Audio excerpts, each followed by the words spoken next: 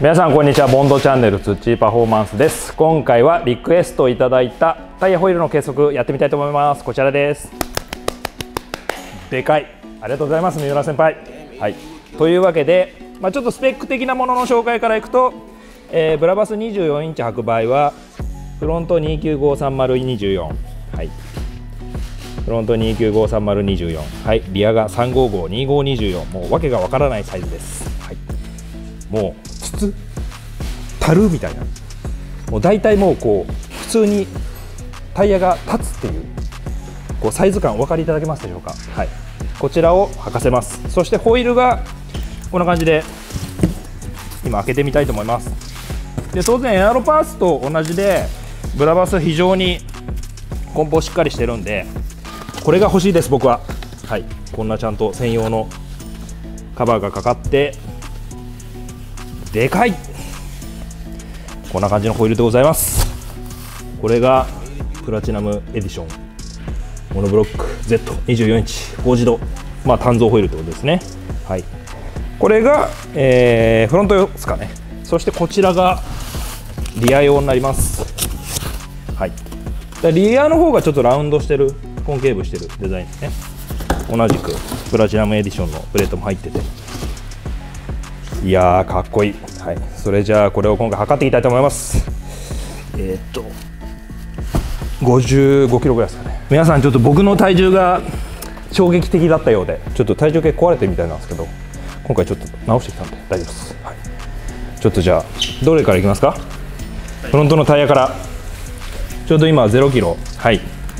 結構タイヤもメーカーサイズでかなり違うと思うんでタイヤチョイス重要だと思うんですけどもう24インチとかってなってくるともうほぼ選択肢ない、まあ、マンソリーとかよく使ってるこのベルデステイン。このタイヤになってくると思うんですけどちなみにこれがいきます。ドン。17点。17キロぐらいですかねちょうど。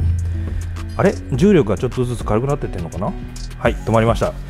17キロちょうどぐらいですね、はい、こんな感じで。まあちょっと比較対象があまりないんでちょっとリアクションに困る感じなんですけど。果たして軽いのか重いのか。そしてリアはもうちょっと重そうです。はいドン。ちょっと待ってくださいね。リアは20.1キロでございます。20.2キロですかね。あ今度は重力が、はい。まあ、大体20キロぐらいっていうことで。こんな感じのタイヤです。まあ割と重たい。ただまあ SUV のゴツゴツタイヤとかに比べればもう全然軽いですね。やっぱり。扁平が薄い分。そして豆知識なんですけれどもこの間カメラマンに教えてもらいました。なんとここ十字アーロ。そうです。タイムマシンをデザインした。あタイムマシンデザインしたのは違うか。はい。まあ平たく言うと合ってる。デロリアンをデザインしたこの十字アーロ。がなんかこれデザインしてるらしいです。っていうちょっと知ってたらあのどどやれないな。はい。マニアックでちょっと友達いなくなっちゃうかもしれないんでちょっと気をつけてください、はい、そしてホイールいきましょう。ホイールはちょっとこれさすがに高級品なんでちょっとこれをゴンって乗せるわけいかないんで僕が持ってまたよいしょ。ただ24インチなのにまあ持てます全然。多分普通の鋳造24インチだと持てないと思うんですけどいきます。いいですか？えい。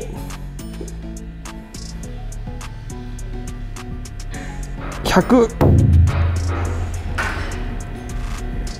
はい104キロぐらいです。ふう。これやっぱり50キロぐらいあるなこのオイルよいしょ。はいそしてリアの方が当然太いんで。11J って言ったけど合ってるかあ嘘です。12J でした。はいすいません。こちら。よいしょ。いきたいと思います。よいしょ。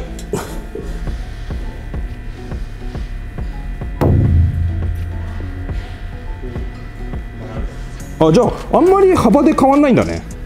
まあ確かにここの分アルミが多いぐらいなんでそんなに太さでは変わらないと。じゃあいいですか？ここちらご注目ください。はい。ちょっとあれからだいぶ減量したんでちょっといきたいと思います。いきますよ63キロ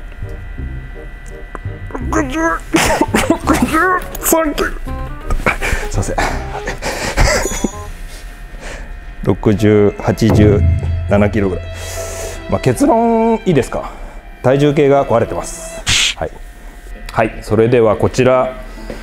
あの 350D から取り外したタイヤホイールではないんですけれども同じ 350D 用のタイヤホイールです。もしかしたらタイヤの種類あるかもしれないです。今回のは計測するのはまあサイズは一緒ですね。2755020そしてピレリのタイヤでございます。スコーピオンゼロですね。はい。これをじゃあ測りたいと思います。よいしょ。ドン32.7キロ。ということで4インチアップでだいたい8キロぐらい。7キロ8キロぐらい重くなってる感じですね。だそんなに、まあ、もちろんバネした重量なんで、まあ、軽いんで越したことはないと思うんですけどそんなに思ってたほどは多分スポイル性能をスポイルしない感じじゃないかなと思います。ということで今回はタイホイール計測お届けいたしました、はい、でまだちょっと完成あるんで、まあ、リクエストお待ちしております。はいというわけであれから数週間経過しているわけなんですけれども一応ですね全部パーツの塗りが終わってその後ラッピングに旅立ちました。でラッピングしてもらって戻ってきたものを組み付けた状態がこちらでございます。合ってるかな？順番が。というわけでこんな感じで完成間近となりました。一応まあ、ちょっと詳しくはあの完成の時にカスタム紹介でご紹介させていただきますんでババババッと。一応この辺、まあ、もちろんそのワイドキットなんですけれども全部ラッピングしてでラッピングしたその中どうなってるかっていうと元色のオブシディアンブラック。に全部ペイントして磨きもやって、まあ、そのまんまでも大丈夫な状態にしてさらにこうラッピング。今回これマットグレーですかね。マットガンメタルに全部全部ラッピングしてございます。ボンネットだったりだとかちょっとこっちも行きましょうか。全部。そしてこのダクトのところだけはラッピングしないでこの元色を出した状態ですね。ちょうど塗り分けがされてる感じです、まあ、あとは本当に今回全部ラッピングなんでドア内だったりだとかも全部。はい。本当にこの交渉のとことかどうなってるんですかっていうレベルではい。してございます。でまあ今回その元色黒なんで、まあ、割とこのラッピングカラーとのその色の差が大きいんでやっぱりこうラッピングしてない部分が出ちゃってると目立っちゃうんで、まあ、こういうヒンジのとことかも全部ラッピングしたそうですそしてサイドスカートなんかもこれ多分マットブラックでラッピングされてるんじゃないでしょうか。この辺も詳しく解説してもらいましょう。そしてルーフだったりもう全部です。そしてびっくりが急行。なんと急行の中まで全部。言わないとこれも本当にラッピングってわからないぐらいそのぐらいのレベルで仕上がってございます。であと当然ダイヤホイールはまだ純正のまんまですけれどもこれから東京店の方に改装してダイヤホイールの交換になると思います。そして後ろも全部ラッピングされて背面タイヤもブラバスのカーボンのものにしてあります。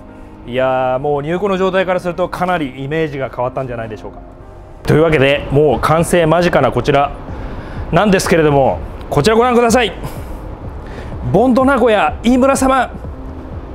もう見慣れた光景になりつつあるこのワイドキットの箱がございます。これはですねなんと話をちょっと聞いたら名古屋店でもまたワイドスター制作するそうです。なんか聞いたところによると63白い63でやるんじゃないかなっていう確か。っていう先がします。あれ500かな？400かな？忘れちゃった。はい。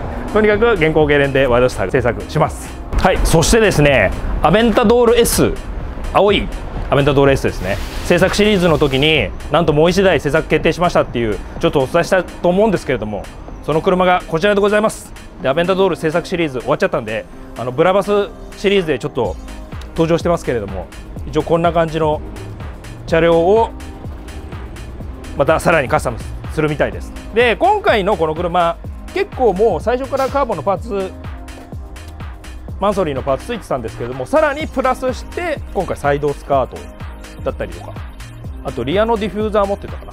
はい。これまだちょっと組み付け最中なんですけれどあとなんとびっくりこちらロードスターなんですけどもここの部品もマンソリーのものに交換っていう。そしてですねこのロゴなんと特注だそうです。そんなことできるんだね。ここにロゴを入れてくれと。よしそしたらよし任せろっていうことであのロゴを入れてもらって送ってもらいました。こんな特注パーツの製作もできちゃうんですね。そしてリアはもうこれが多分交換したのかな？だと多分ウイングかなんかつくんじゃないでしょうか。こんな感じで。もうほぼほぼカーボナードみたいな。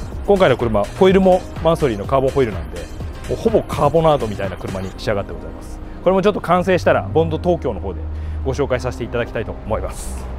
はいというわけで今回は G350D ワイドスターシリーズボンドボディでお伝えするの多分最後になるんじゃないかなと思います。お伝えしました、えー、次回はもう完成したのをボンド東京の方でカスタム紹介でお伝えしますので、えー、ぜひご視聴ください。ボンドチャンネルチャンネル登録まだの方はチャンネル登録もぜひよろしくお願いします。最後までご視聴ありがとうございました。